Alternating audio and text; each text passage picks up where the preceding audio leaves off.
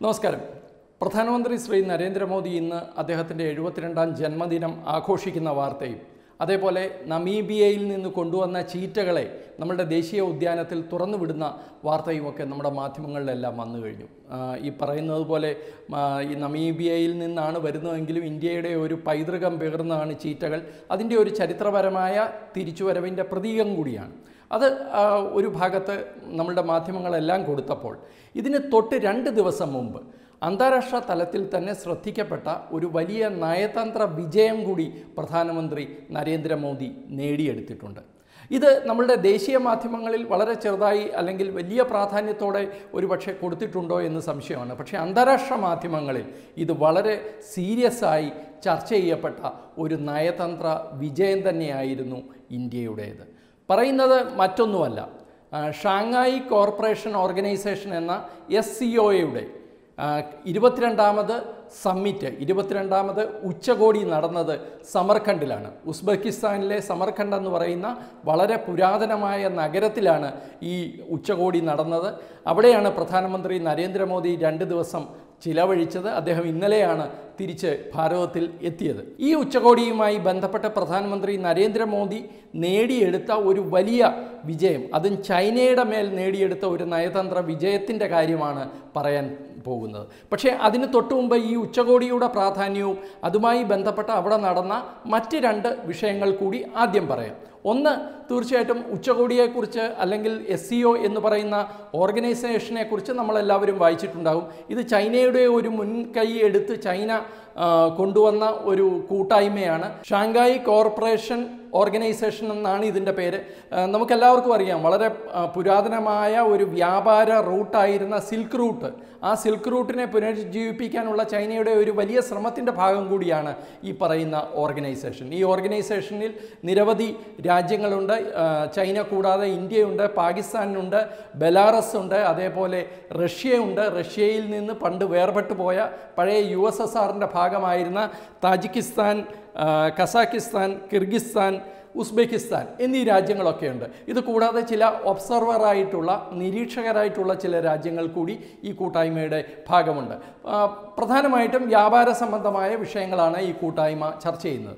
ഈ കൂട്ടായ്മയുടെ അടുത്ത വർഷത്തെ അധ്യക്ഷനായിട്ട് ഭാരതത്തെ തിരഞ്ഞെടുത്തിട്ടുമുണ്ട്. അതിന് അതിന്റെ പ്രഖ്യാപനം ഈ ഉച്ചകോടിയിലാണ് ഉണ്ടായത്.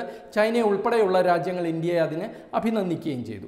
അത് ഒരു വശത്ത് നിൽക്കുമ്പോൾ തന്നെ ഇന്ത്യ ഈ പറയുന്ന ഉച്ചകോടിയിൽ പങ്കെടുക്കുകയും പ്രധാനമന്ത്രി നരേന്ദ്രമോദി ആ ഉച്ചകോടിയിൽ വളരെ ശക്തമായി തന്നെ ഇന്ത്യയുടെ നിലപാടുകൾ പറയുകയും ചെയ്തിട്ടുണ്ട്. ഇന്ത്യയെ സംബന്ധിച്ചിടത്തോളം ആരോടെ കൂടെ ചേർന്ന് നിൽക്കുന്നു അല്ലെങ്കിൽ ആരെ വിമർശിക്കുന്നു എന്നുള്ളതല്ല മറിച്ച് ഇന്ത്യയുടെ താല്പര്യമാണ് ഇന്ത്യയ്ക്ക് പ്രധാനം. നരേന്ദ്രമോദിയെ സംബന്ധിച്ചിടത്തോളം വ്യക്തിപരമായും അദ്ദേഹത്തിന്റെ പ്രാധാന്യം അദ്ദേഹം കൊടുക്കുന്നത് ഈ ഒരൊറ്റ കാര്യത്തിനാണ് എന്ന് ഒരിക്കൽ കൂടി ഊന്നി പറഞ്ഞുകൊണ്ടാണ് അദ്ദേഹം അദ്ദേഹത്തിന്റെ പ്രസംഗം അവസാനിപ്പിച്ചത്. പക്ഷേ ഇതിലെ പ്രധാനപ്പെട്ട മൂന്ന് കാര്യങ്ങൾ ഞാൻ എടുത്തു പറയുകയാണ്. ഒന്ന് ഈ ഉച്ചകോടിയുമായി ബന്ധപ്പെട്ട് നടന്ന ഒരു പ്രധാന കാര്യം പ്രധാനമന്ത്രി ശ്രീ നരേന്ദ്രമോദിയുടെ റഷ്യൻ പ്രസിഡന്റ് വ്ളാഡിമിർ പുച്ചിനുമായിട്ടുള്ള കൂടിക്കാഴ്ചയാണ്. ആ കൂടിക്കാഴ്ചയിൽ വളരെ കൃത്യമായി തന്നെ ശ്രീ നരേന്ദ്രമോദി ഉക്രൈൻ യുദ്ധത്തിന് എതിരായിട്ട് പുച്ചിനോട് സംസാരിച്ചു എന്നാണ് പറയുന്നത്. അത് വിദേശ മാധ്യമങ്ങളിലൊക്കെ വലിയ വാർത്തയായിരുന്നു. ഇന്ത്യ വളരെ ശക്തമായി തന്നെ റഷ്യയെ ഉക്രൈൻ വിഷയത്തിൽ വിമർശിച്ചു അല്ലെങ്കിൽ റഷ്യൻ പ്രസിഡന്റ് വ്ളാഡിമിർ പുച്ചിൻ ഒറ്റപ്പെടുന്നു എന്നൊക്കെയുള്ള തരത്തിലുള്ള വലിയ വാർത്തയായി അത് വ്യാഖ്യാനിക്കപ്പെട്ടു. പക്ഷേ സത്യം അതല്ല. യഥാർത്ഥത്തിൽ ഈ യുദ്ധം ഒന്നിനും പരിഹാരമല്ല. യുദ്ധത്തിൽ നിന്ന് റഷ്യ പിന്മാറണം എന്നുള്ളത് വളരെ നേരത്തെ തന്നെ ഇന്ത്യ പറഞ്ഞതാണ്. അദ്ദേഹത്തെ റഷ്യൻ പ്രസിഡന്റിനെ നേരിൽ കണ്ടപ്പോൾ പ്രധാനമന്ത്രി നരേന്ദ്രമോദി അത് നേരിട്ട് തന്നെ മുഖത്തു നോക്കി പറയുക മാത്രമാണ് ചെയ്തത്. ഇത് ഒരു വശത്ത് നിൽക്കുമ്പോൾ തന്നെ വളരെ ശ്രദ്ധിക്കേണ്ട വലിയ ഒരു കാര്യമുള്ളത്. പ്രധാനമന്ത്രി നരേന്ദ്രമോദി ഈ ഉച്ചകോടിയിൽ പങ്കെടുത്തതും ലോക നേതാക്കളെ കണ്ടതും അവിടെ വന്ന രാഷ്ട്രത്തലവന്മാരുമായി ചർച്ച നടത്തിയതും ഒക്കെ വിദേശ രാജ്യങ്ങൾക്ക് പ്രത്യേകിച്ച് പാശ്ചാത്യ രാജ്യങ്ങൾക്ക് ഇന്ത്യയുടെ അടുത്ത കാലത്തുള്ള വലിയ എതിർപ്പിന് പുല്ലുവില കൽപ്പിച്ചുകൊണ്ടാണ്.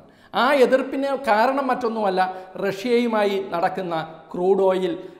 വ്യാപാരമാണ്. റഷ്യയിൽ നിന്ന് നമ്മൾ ക്രൂഡ് ഓയിൽ വർദ്ധിച്ച തോതിൽ ഇപ്പോൾ ഇറക്കുമതി ചെയ്യുന്നുണ്ട്. വില കുറച്ച് ഇറക്കുമതി ചെയ്യുന്നുണ്ട്. കഴിഞ്ഞ വർഷത്തെ സംബന്ധിച്ച് നോക്കിക്കഴിഞ്ഞാൽ കമ്പയർ ചെയ്ത് കഴിഞ്ഞാൽ ഏതാണ്ട് ഏതാണ്ട് എണ്ണൂറ് ശതമാനം വർധനവുണ്ട് ഇന്ത്യയുടെ ക്രൂഡ് ഓയിൽ ഇറക്കുമതിയിൽ റഷ്യയിൽ നിന്നുള്ള ക്രൂഡ് ഓയിൽ ഇറക്കുമതിയിൽ. അപ്പോൾ അത് തന്നെ നമുക്കറിയാം. അതിന് പകരം ഇന്ത്യയും പല കാര്യങ്ങളും മെഡിക്കൽ എക്യുപ്മെന്റ്സ് ഉൾപ്പെടെയുള്ള കാര്യങ്ങൾ മരുന്നുകൾ അവശ്യ മരുന്നുകൾ ഉൾപ്പെടെയുള്ള കാര്യങ്ങൾ അങ്ങോട്ടും നമ്മൾ എക്സ്പോർട്ട് ചെയ്യുന്നുണ്ട്. അവിടെ റഷ്യ ഇമ്പോർട്ട് ചെയ്യുന്നുണ്ട്. അങ്ങനെ ഒരു വ്യാപാര ബന്ധം വളരെ ശക്തമായി നിൽക്കുമ്പോൾ തന്നെ അത് വർദ്ധിക്കുമ്പോൾ തന്നെ യുദ്ധത്തെ സംബന്ധിച്ച നിലപാട് ഇന്ത്യയ്ക്ക് ശക്തമായി തന്നെ പുടിന്റെ മുമ്പിൽ അവതരിപ്പിക്കാൻ സാധിച്ചു എന്നുള്ളതാണ് വളരെ പ്രധാനപ്പെട്ട ഒരു കാര്യം. അത് നട്ടല്ലോടുകൂടി നട്ടല്ലോടെ നിവർന്ന് നിന്ന് ആരുടെയും മുന്നിൽ മുട്ടുകുത്താത്ത ഒരു രാഷ്ട്രത്തലവന് മാത്രം പറ്റുന്ന കാര്യമാണ് സ്വന്തം രാജ്യത്തിന്റെ താല്പര്യങ്ങൾക്കനുസൃതമായി ആരോടും എങ്ങനെയും ഇടപെടുക എന്നുള്ളത്. ഇത് തീർച്ചയായിട്ടും വിദേശ മാധ്യമങ്ങൾക്ക് ഒരു പരിധിവരെ മനസ്സിലായിട്ടുണ്ട്. കാരണം ഈ വിദേശ മാധ്യമങ്ങളെല്ലാം തന്നെ അന്താരാഷ്ട്ര വിദേശ മാധ്യമങ്ങളെല്ലാം തന്നെ വലിയ പ്രാധാന്യമാണ് ഇന്ത്യ യുദ്ധത്തിനെതിരായി റഷ്യൻ പ്രസിഡന്റിനോട് നേരിട്ട് സംസാരിച്ചതിനെക്കുറിച്ച് വാർത്ത കൊടുത്ത രീതി പരിശോധിച്ചാൽ അത് കൃത്യമായിട്ട് മനസ്സിലാവും. ഇതാണ് പ്രധാനമായിട്ടും ഒന്നാമത്തെ പോയിന്റ്. രണ്ടാമത്തെ പോയിന്റ് പാകിസ്ഥാന്റെ അവസ്ഥയാണ്. പാകിസ്ഥാനും ഈ യോഗത്തിൽ പങ്കെടുത്ത ഒരു രാജ്യമാണ്.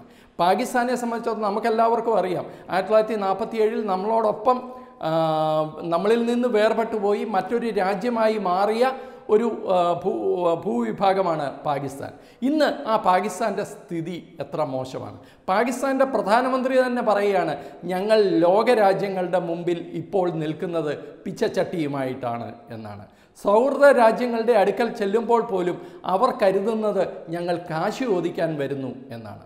ഒരു പ്രധാനമന്ത്രി ഒരു ലോക നേതാക്കളുടെ ഒരു അന്താരാഷ്ട്ര വേദിയിൽ തുറന്നു പറയുകയാണ് ഞങ്ങൾ ഭിക്ഷക്കാരായി മാറിയിരിക്കുന്നു എന്ന്. അവരുടെ രാജ്യത്തിന്റെ ചരിത്രത്തിലെ പാതി സമയവും ഏകാധിപത്യവും പട്ടാളഭരണവുമായിരുന്ന ഒരു രാജ്യമാണത്. ആ രാജ്യത്തെ സകല രാഷ്ട്രീയ പ്രസ്ഥാനങ്ങളും അഴിമതിക്കാരുടെയും അതേപോലെ നിയമ ലംഘകരുടെയും കൂത്തരങ്ങായിട്ട് മാറിയിട്ട് വർഷങ്ങളായി. ഇതിനെല്ലാം ഉപരിയാണ് അവിടെ സിസ്റ്റമാറ്റിക്കായിട്ട് തന്നെ അഴിമതി കൊടികുത്തി വാഴുന്നത്. അങ്ങനെ ഒരു രാജ്യത്ത് മതഭ്രാന്തും കൂടി വന്നു കഴിഞ്ഞാലുള്ള അവസ്ഥ എന്താണ് എന്ന് അറിയണമെന്നുണ്ടെങ്കിൽ ആ നാട്ടിൽ ഒരു ദിവസമെങ്കിലും താമസിച്ചിട്ടുള്ള അന്യമത വിശ്വാസികളോട് ചോദിക്കണം. അവർ പറഞ്ഞു തരും എങ്ങനെയാണ് മതഭ്രാന്ത് മൂത്ത ഒരു സമൂഹം? എങ്ങനെയാണ് ന്യൂനപക്ഷങ്ങളോട് പെരുമാറുന്നതെന്ന്? അങ്ങനെ മതഭ്രാന്തും അതിനോടൊപ്പം ഈ പറയുന്ന സാമ്പത്തിക അരക്ഷിതാവസ്ഥയും അഴിമതിയും കെടുകാര്യസ്ഥതയും ഏകാധിപത്യ പ്രവണതയും എല്ലാം കൂടി ചേർന്ന് അങ്ങേയറ്റം നശിപ്പിച്ച ഒരു രാജ്യത്തിന്റെ പ്രതിനിധിയെയാണ് ഈ പറയുന്ന എസ് സി ഒ സമ്മിറ്റിൽ എസ് സി ഒ ഉച്ചകോടിയിൽ നമ്മൾ കണ്ടത്. അത് പാകിസ്ഥാൻ പ്രധാനമന്ത്രിയുടെ വാക്കുകളിൽ തന്നെ വളരെ വ്യക്തമായിരുന്നു. ഇതാണ് രണ്ടാമത്തെ പോയിന്റ് ഏറ്റവും അവസാനത്തേതും ആദ്യം പറയേണ്ടതുമായിരുന്ന പ്രധാനപ്പെട്ടത് പ്രധാനമന്ത്രി നരേന്ദ്രമോദി നടത്തിയ നയതന്ത്ര വിജയത്തെക്കുറിച്ചാണ്. എന്തുകൊണ്ടാണ് നമ്മളുടെ മാധ്യമങ്ങൾ ഈ വിഷയം അധികം ശ്രദ്ധിക്കാത്തതെന്ന് എനിക്കറിയില്ല. പക്ഷേ അന്താരാഷ്ട്ര മാധ്യമങ്ങളിൽ ഈ വിഷയമുണ്ട് എന്ന് മാത്രമല്ല നമ്മളുടെ ദേശീയ മാധ്യമങ്ങളിൽ അല്പം ഇടതുപക്ഷ ചായ്വൊക്കെയുള്ള ചില മാധ്യമങ്ങളിലും ഇത് കണ്ടു. ഓൺലൈൻ മാധ്യമങ്ങളിൽ ഈ വാർത്ത ഇന്ന് രാവിലെ ഞാൻ കണ്ടതാണ്. അത് കാര്യം മറ്റൊന്നുമല്ല പ്രധാനമന്ത്രി നരേന്ദ്രമോദി ചൈനയുടെ മേൽ നേടിയ നയതന്ത്ര വിജയമാണ്. പ്രധാനമന്ത്രി നരേന്ദ്രമോദി ഈ യോഗത്തിൽ ഈ ഉച്ചകോടിയിൽ പങ്കെടുക്കുക എന്നുള്ളത് ചൈനയുടെ ആവശ്യമാണ്. നേരത്തെ പറഞ്ഞ പോലെ ചൈന മുൻകൈ എടുത്ത് നടത്തുന്ന ഒരു ലോക ഉച്ചകോടിയാണ് ഇത്. ചൈനയുടെ വ്യാപാര അഭി അഭിവൃദ്ധിക്ക് ഇത് വളരെ പ്രധാനപ്പെട്ട ഒരു കാര്യവുമാണ്. അതുകൊണ്ട് തന്നെയാണ് ചൈനയ്ക്ക് ഇത്ര ഇൻട്രസ്റ്റ് ഈ ഒരു വിഷയത്തിൽ. പക്ഷേ ഇന്ത്യ നമ്മൾ അറിയുന്നതനുസരിച്ച് പ്രധാനമന്ത്രി നരേന്ദ്രമോദി ഈ യോഗത്തിൽ പങ്കെടുക്കണമെന്നുണ്ടെങ്കിൽ ചൈന അതിർത്തിയിൽ നിന്ന് ചൈനയുടെ പിന്മാറ്റം പൂർത്തിയാക്കണം എന്നുള്ള ഉപാധി വെച്ചു എന്നാണ് നമ്മൾ മനസ്സിലാക്കുന്നത്. ചൈനയുടെ പിന്മാറ്റം പൂർത്തിയായാൽ മാത്രമേ ഇന്ത്യ ഈ യോഗത്തിൽ പങ്കെടുക്കൂ എന്ന് ചൈനയെ ഇന്ത്യ അറിയിച്ചു.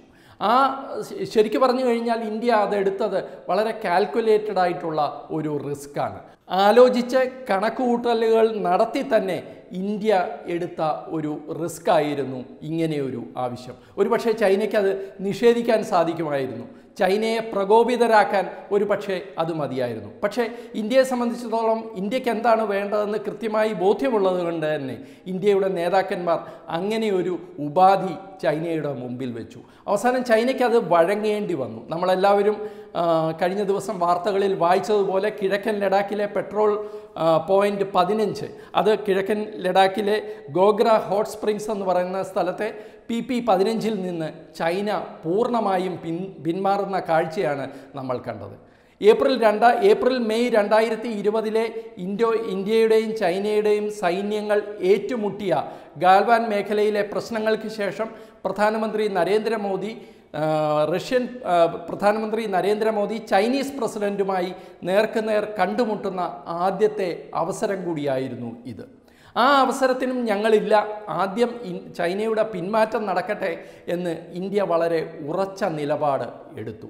ആ നിലപാടിന്റെ ഫലം തീർച്ചയായിട്ടും ഇന്ത്യയ്ക്ക് അനുകൂലമായി തന്നെ ഭവിച്ചു എന്നുള്ളത് നമ്മുടെ രാഷ്ട്ര നായകന്മാരുടെ രാഷ്ട്ര നേതാക്കളുടെ ദീർഘവീക്ഷണത്തിന്റെയും ഉറപ്പുള്ള നിലപാടിന്റെയും ഫലം തന്നെയാണ് എന്ന് പറയേണ്ടി വരും. എന്തായാലും ഇന്ത്യയെ സംബന്ധിച്ചിടത്തോളം ഈ പറയുന്ന എസ് സി ഒ ഉച്ചകോടി അടുത്ത വർഷം അത് ഇന്ത്യയിൽ നടക്കേണ്ടതാണ്. ഇന്ത്യയാണ് ഇനി എസ് സി ഒയുടെ അധ്യക്ഷ സ്ഥാനത്തേക്ക് പോകുന്നത്. ഇന്ത്യയ്ക്ക് തീർച്ചയായിട്ടും ഈ വിഷയങ്ങളിൽ കൂടുതൽ ഇടപെടേണ്ടി വരും ഇനിയുള്ള മാസങ്ങളിൽ. പക്ഷേ ഇന്ത്യയെ സംബന്ധിച്ചിടത്തോളം ഇപ്പോൾ ഈ പറയുന്ന ഉസ്ബെക്കിസ്ഥാനിലെ സമർഖണ്ഡിൽ നടന്ന ഈ ഉച്ചകോടി ആ ഉച്ചകോടി ഇന്ത്യയ്ക്ക് നയതന്ത്ര വിജയങ്ങളുടെ ഒരു പരമ്പര തന്നെ സമ്മാനിച്ചു എന്നാണ് വാർത്തകളെല്ലാം അവലോകനം ചെയ്യുമ്പോൾ മനസ്സിലാക്കുന്ന കാര്യം. നമസ്കാരം.